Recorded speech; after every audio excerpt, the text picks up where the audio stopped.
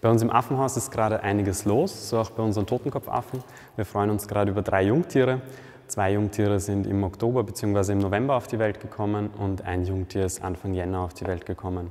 Das Besondere bei dieser Situation ist, dass wir unlängst eine Zuchtgruppe aus Marvel bekommen haben. Die hat uns der Zuchtbuchführer zugewiesen und zwei Tiere kamen da eben mit zwei Jungtieren, eben die, die im November und im Oktober auf die Welt gekommen sind.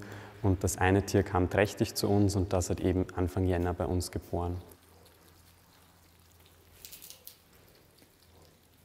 Wir freuen uns sehr über die Jungtiere, weil das die, erste Erfolg oder die ersten erfolgreichen Aufzuchten nach über zehn Jahren wieder sind. Und es ist auch ganz besonders nett, den Jungtieren zuzuschauen. Sie sind sehr agil schon, gerade die zwei Älteren klettern viel eigenständig herum, lernen die Anlage kennen, sind sehr, sehr neugierig und halten die Gruppe auch ordentlich auf Trab im Vergleich jetzt zu dem, was vor wenigen Tagen auf die Welt gekommen ist, das hängt eigentlich aktuell äh, nur am Rücken der Mutter. Die hängen ja immer gleich nach der Geburt am Rücken der Mutter und nur wenn sie gesäugt werden, hängen sie am Bauch.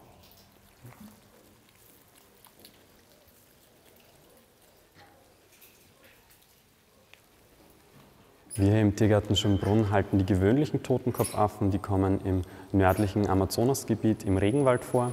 Das Spannende bei den Tieren, bei Totenkopfaffen allgemein, ist, dass sie im Verhältnis zum Körpervolumen das größte Gehirnvolumen in der Primatenwelt haben. Und das bemerkt man auch bei den Tieren, weil sie sind sehr, sehr neugierig, sehr intelligent. Vor allem, wenn man ein neues Enrichment oder irgendwas ausprobiert, ähm, sind sie sofort dran, ähm, sind sie sehr, sehr geschickt bei der Sache und es ist immer wieder spannend, sie da zu fordern und zu beschäftigen.